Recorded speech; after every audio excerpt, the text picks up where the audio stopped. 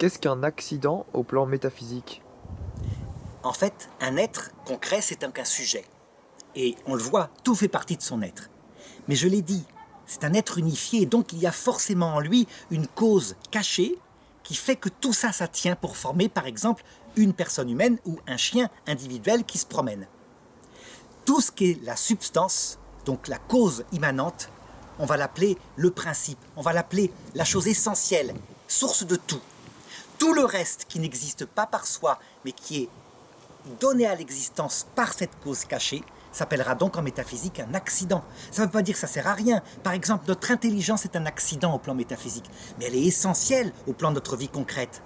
On peut dire aussi que nos relations, par exemple, la relation que j'ai avec mon épouse, est un accident au plan métaphysique.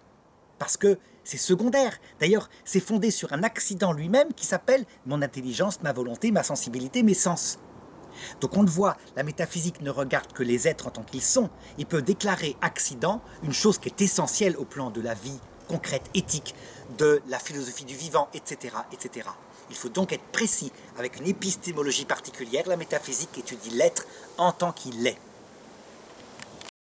Pourrais-tu me donner la liste des accidents? Alors en fait, pour la faire, il faut regarder un être et les déterminer. Ce sont des centaines d'accidents. Notre main est un accident, par exemple. Mais évidemment, le philosophe, son propre, c'est de mettre de l'ordre. Donc je dirais que la substance est cause de mon être. Et mon être, il a d'abord une nature qui est commune avec la tienne, donc on pourrait dire que notre nature commune est le premier et le plus fondamental des accidents. Deuxièmement, nous avons une certaine quantité, c'est-à-dire je pèse un certain poids qui n'a pas toujours été le même. La quantité qui constitue mon poids est un accident. J'ai des qualités immanentes, comme par exemple mon intelligence est une qualité en moi, c'est aussi une faculté vitale, mais il y a aussi des qualités qui vont vers l'autre, comme par exemple le fait que j'aime telle personne. La qualité, selon toutes ses formes, c'est un accident. J'ai des relations, comme par exemple la relation à cette planète sur laquelle j'habite, mais la relation aussi à tel être que j'aime. C'est un accident d'un accident, au plan métaphysique, et c'est essentiel en ce qui concerne ma vie morale.